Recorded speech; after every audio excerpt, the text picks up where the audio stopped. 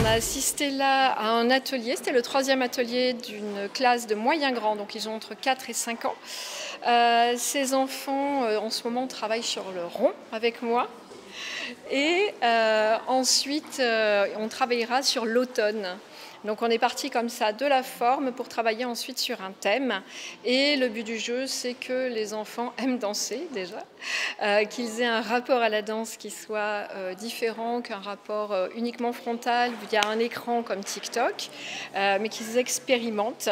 Et aussi différentes façons de réfléchir l'espace, de réfléchir le monde, de réfléchir tout court.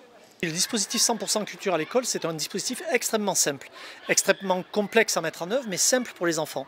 De la petite section de maternelle jusqu'au CM2, les enfants découvrent chaque année une discipline artistique, de la danse, du théâtre, du cinéma, de la photo, de, l'architecture et du patrimoine, de la musique. Et en fait, l'objectif, c'est que dans son parcours scolaire, l'enfant de la petite section au CM2 ait découvert toutes les disciplines artistiques au contact des artistes, avec les artistes qui sont en même temps les pédagogues.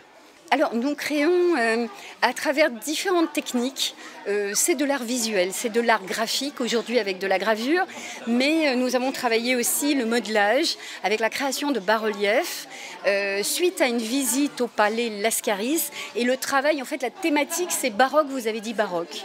Donc on travaille sur cette période du XVIIe siècle, mais avec plusieurs euh, types de, créations différentes papier, dessin, gravure, modelage, maquette.